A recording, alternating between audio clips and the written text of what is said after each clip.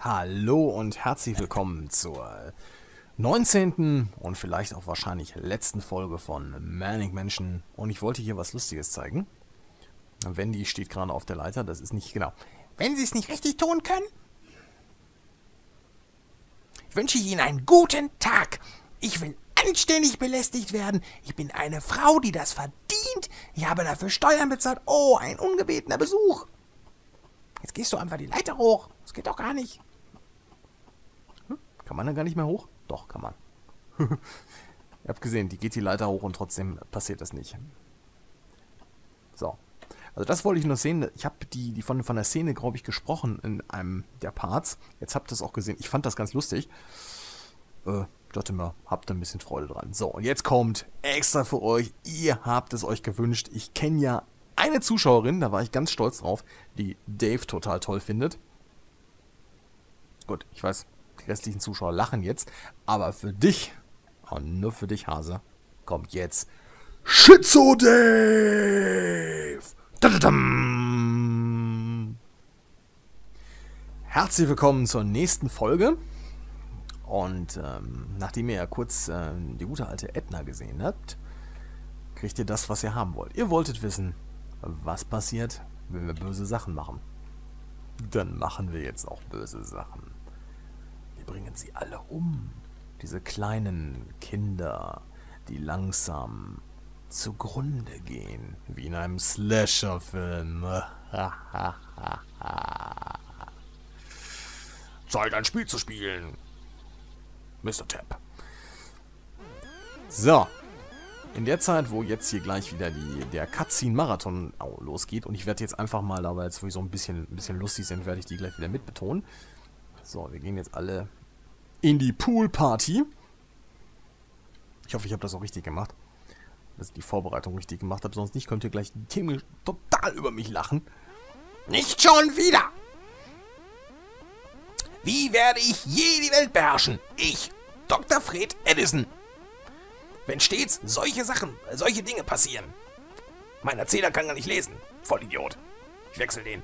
Tentakel! Stillgestanden! Hier bin ich. Wir haben wieder ein Problem. Jo, Sir. Ich gehe wieder in den Keller, obwohl er sowieso kein Kind ist. Mein Gott, ich kenne die Serie doch auch. Aber eines Tages werde ich die Welt beherrschen. Du hast trotzdem keine Arme. Schnauze. So, ab in den Pool. Ich nehme lieber die Nase. Das wäre sinnvoll, Wendy. Wendy. Na, man merkt, du kennst dich nicht nur mit Ponys aus, auch mit Pools. Ach, wie schön. Und du drückst jetzt nicht den äh, Knopf, weil dann wäre der Gag nicht so lustig.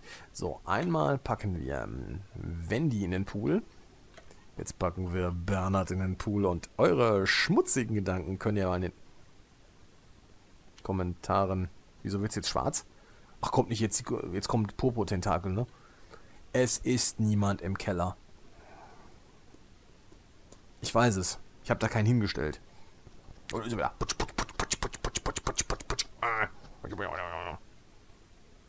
Hm. Ha. Hm. Es ist niemand hier. Das liegt daran, dass da auch niemand ist. Ich möchte einfach nur mal sagen, nein. Wenn ihr meinetwegen auch Fans von ähm, Kalamaris seid, oder von Tintenfischen allgemein, gleich gibt's lecker Tintenfisch. So, wir machen jetzt was folgendes. Ihr seht ja, die beiden sind jetzt im Pool. Und was macht man bei einer Poolparty? Man lässt das Wasser rein. Und Dave wird es genießen. Denn Dave ist ein Genießer.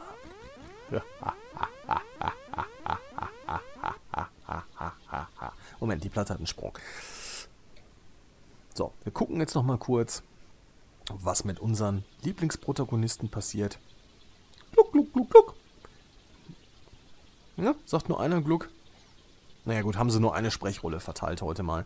Mein Gott, auch die mussten damals sparen. Wir hatten ja damals kaum Pixel. Damals. Es war düster. Wir hatten ja nichts. Außer dieses Spiel. Wie nur ein Grabstein. Da fehlt aber einer. Oder müssen die sich jetzt ein Grab teilen? Das interessiert mich jetzt. Das sind aber ganz große Ersparnisse hier. Oder stirbt der nächste jetzt gleich auch nochmal? Tatsächlich. Tatsächlich. Nochmal Gluck, Gluck, Gluck. Riesig. Also das wusste ich auch nicht mehr, dass die dann hintereinander sterben. Ihr könnt natürlich, das kann man sich vorstellen, natürlich nicht drei Kinder im Pool versenken. Ich meine, im Prinzip schon, nur nicht hier im Spiel. Ähm, tja, da ist der zweite Grabstein. Und bevor einer fragt, hey, da passt ja noch einer hin, ihr habt das Prinzip verstanden. Jetzt ist Dave dran. Dave hat eine schlechte Kindheit gehabt.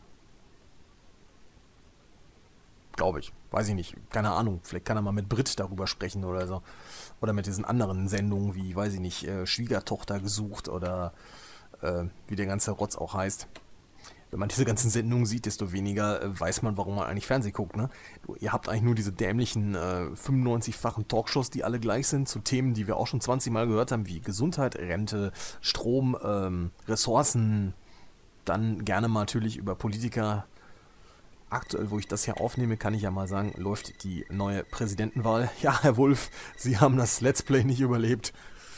Tut mir leid, Bediener, ich habe alles für ihn getan, aber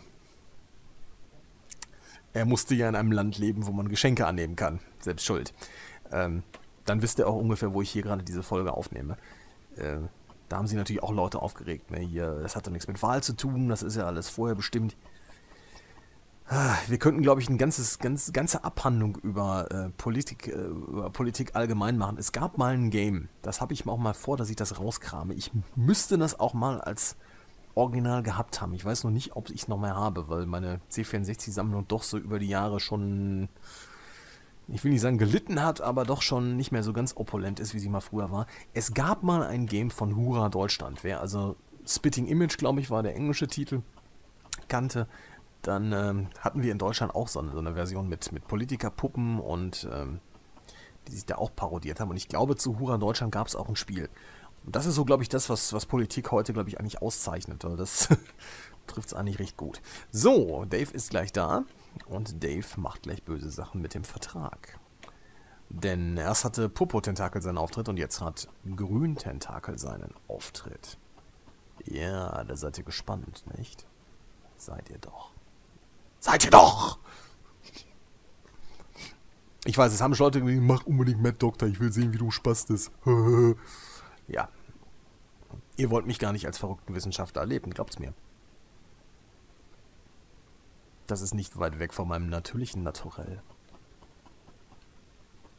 Wenn die kleinen Gedärme zu einem neuen Körper geschaffen werden. Wenn ich zeige, was die Natur... Ich schweife ab.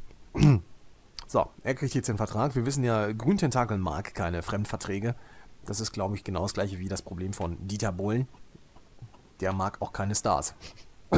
Kleiner, dummer Gag.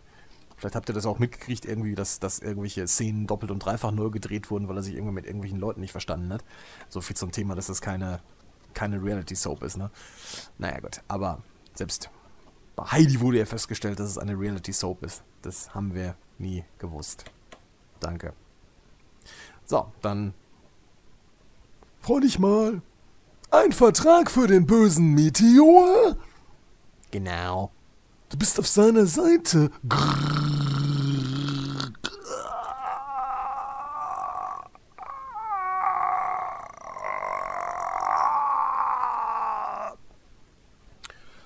Diese Todes Todesszene wurde Ihnen präsentiert von Sucht, sucht euch einfach die Biermarke, die Automarke eures Vertrauens aus. So, das ist der dritte Grabstein.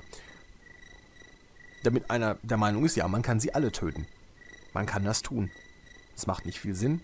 Und jetzt dürfen wir Seite 1 einlegen. Weil Seite 2 hat ja keine Stars mehr. Mal gucken, was Dr. Fried Edison sagt. Da gibt es doch noch eine Cutscene. Ich wollte wohl sagen. Mal gucken, wie es jetzt Sandy geht. Ich meine nicht, dass mich das interessiert, ne? Euch auch nicht, wie ich in den Kommentaren weiß. So. Alle Kinder sind tot. Der Rettungsversuch ist gescheitert.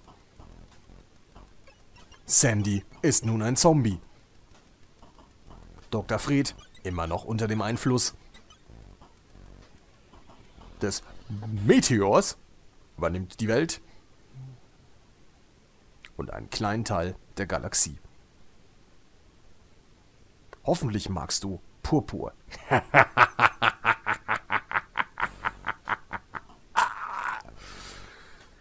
ja, das ist das Bad, Bad, Bad, Bad Ending.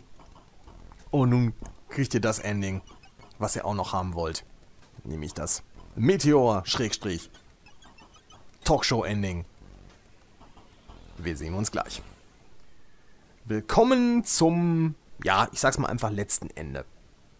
Ich mache, bevor ich das jetzt beende, eben kurz, ich mache noch einen Abschlussgag, das kann ich schon mal wegnehmen für die, für die Folge, also wird es nur eine Folge mehr werden. Ähm, ihr könnt dann entscheiden, ob ihr Folge 20 als Speedrun haben wollt für den NES. Dann können wir das eben noch mit dem Meteor und der Pflanze zeigen. Allerdings mache ich das nicht im Anschluss. Das heißt, ihr könnt einfach mal vorschlagen, wie die, die NES-Version laufen soll, ob ich das als Special machen soll, als eigenständige Folge. Das ist jetzt sozusagen eure Chance, da könnt ihr jetzt mal ein bisschen editieren. Ich mache das nicht im Anschluss, das heißt, wenn wir danach fertig sind, dann kriegt ihr auch noch ein bisschen was vom letzten Ninja dann in den nächsten Folgen. Und ich werde auch, das weiß ich jetzt schon, wo ich das ja aufnehme, ähm, auch noch eine Änderung auf dem Kanal haben. Die wird auch sehr freudig aufgenommen, denn ich weiß, der eine oder andere will das sehen und der eine oder andere kriegt das auch.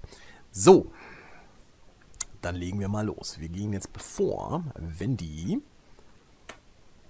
ins Geheimlabor geht,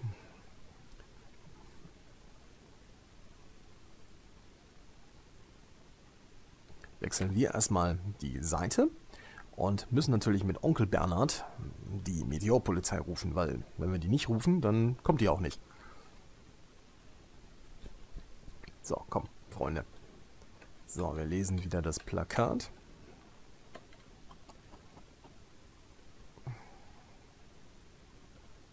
Gesucht!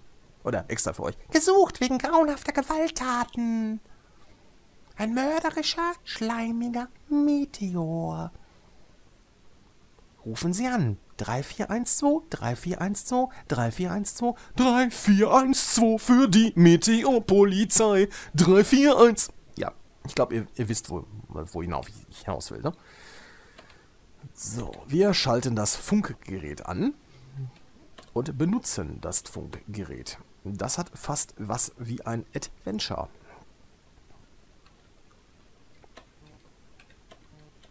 Eins, fünf.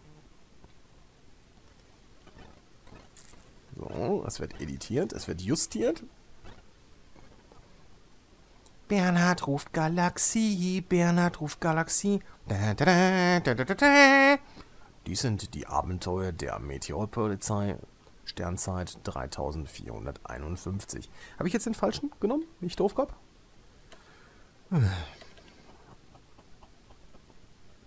So, war doch richtig, oder nicht? Oder war das falsch?